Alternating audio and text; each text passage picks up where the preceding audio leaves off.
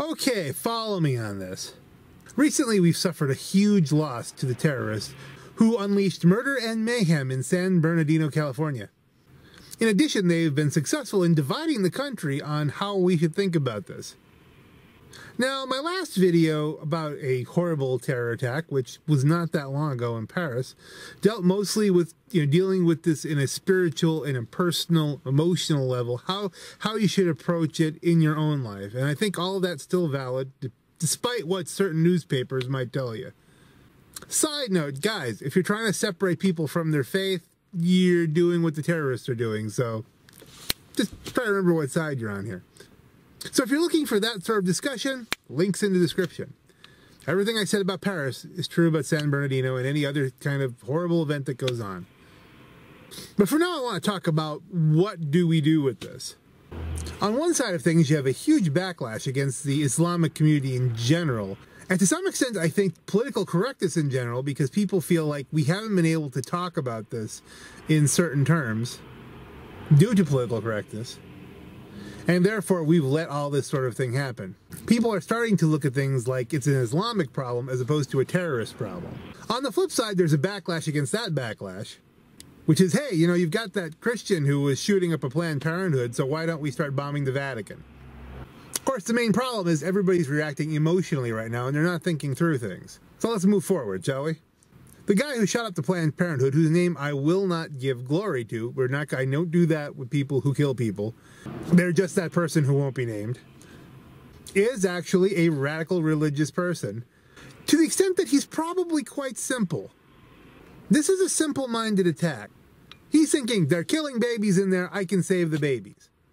Which, if you shoot up a Planned Parenthood, all that happens is A, you commit exactly the sort of crime that you say is wrong, making yourself a hypocrite. B, you make the entire pro life movement look like a bunch of crazies. And C, the women who are going to have abortions that day at that clinic now have to drive an extra couple miles. This is not helpful. People, please stop doing this. This battle is going to be won in hearts and minds, and I think we're on track to do that if we would stop making ourselves look silly. Thank you very much. But note something here. There isn't a large, well-funded, heavily armed movement of people like that. On the radical Islamic side of things, you have almost the same problem, where some would say, I'm saying, now this gets a little bit gray here, so follow me. Some would say that these radical Islamists are having a simplistic and warped interpretation of their religion, whereas other Islamists, and some of them are high ranking Islamists, are saying that this is the correct interpretation.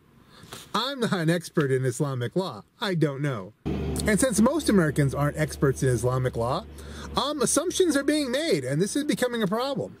On a practical basis, you cannot ban all Muslims from coming into the country. Any more than you can ban all Catholics or ban all Hindus. And I think we've proven that a terrorist isn't going to have a problem with lying when they're trying to get into the country. Trying to ban Muslims is just about useful as trying to ban guns. There's just going to be a different illegal pathway to get there. And if you're willing to kill people, you're willing to do pretty much anything else that's illegal. Now, you can't ban people from Syria, you can ban people from Afghanistan or Pakistan if you feel like there is a strong chance that you will be getting terrorists from that country trying to get into the country. And Jimmy Carter did that with Iran back in the late 70s. Was it useful? I have no idea. Again, we have open borders. Does it really help? Now, we went a decade without having anything like this happen during the War on Terror, which we called the War on Terror. Notice that since we've claimed the war on terror is, oh, that's all done with, that's just passed, it was overblown, it was this and that, now we're starting to have problems. If you really want to look at, well, how can we prevent uh, these sort of events from happening in the country, I think we need to look to the past, to the recent past, and say when we had boots on the ground and we had control over Iraq and control over Afghanistan, they could not organize like this. Veterans, if you ever wondered if what you were doing was protecting the country, now you know it was. With that presence in the Middle East, they had to deal with it, and they couldn't spend their time trying to deal with us over here. The one thing that was never discussed, and I guess we could talk about it now because it's it's pretty much a moot point. Did anyone ever notice what a strategic value Iraq was? Never mind the oil. I don't think we ever got any oil. But it was dead center in the middle of everything, and with our presence there, everyone around had a tiptoe. No, not so much tiptoeing. No.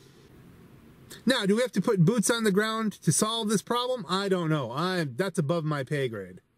The one thing you don't want to do is tell people that that's not on the table. It should always be an option. The reason is if it's an option, then the enemy has to prepare for it.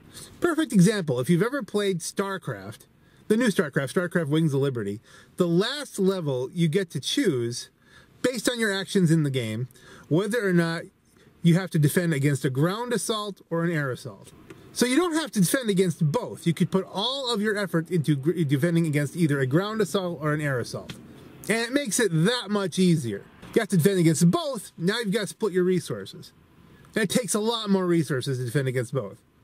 If we say we may put troops on the ground, even if we have no intention of ever doing it, they've got to bunker up. Because if we did roll in, then they're in serious trouble because we're going to win that. And you can say, oh, well, they'll just fade away and they'll go, they'll go back to, you know, not being a terrorist and they'll hide for a while and they'll go back to, you know, working at their regular everyday jobs until they see an opportunity to be a terrorist again. Well, isn't that not a bad goal? Get everybody back into hiding as opposed to plotting? No, I'm no General Patton. I'm not a strategic genius. I don't know exactly what we should do militarily here, and I'm not claiming that. But I do think we have to start thinking in terms of what do we do strategically, militarily, to solve this problem. And we have to think about it in terms of our army against their army and not Christians versus Muslims or anything like that. There are a lot of Muslims, the majority of Muslims, who just want to go about their day and not kill anyone. Grouping the regular Islamist with the radical Islamist runs the danger of radicalizing everybody, and then you bring yourself about exactly what the radical Muslims want. World War III. But we need to take them seriously. We need to take ISIS very seriously, and we have to think, all right, look, political correctness aside, what needs to be done here? And if we don't want to do that, then we have to say, all right, well, what are we willing to sacrifice as we let them exist? This is not going to be good. When when 9/11 happened, I said we're going to be in a war for 20 years. And it's probably going to be longer than that. Because we're almost going to have to go into every single country that has a radical Islamic government base and turn that government into something like that resembles a democracy. Not an easy task. There's no easy answers here, people. But the last thing we can do is turn against each other. Treat the problem as a problem. Treat the forces of ISIS as the forces of ISIS. Let's not generalize and make this Americans versus Americans. Yes, there are Americans in ISIS. Let's not make assumptions and drive more Americans to ISIS. Something to think about.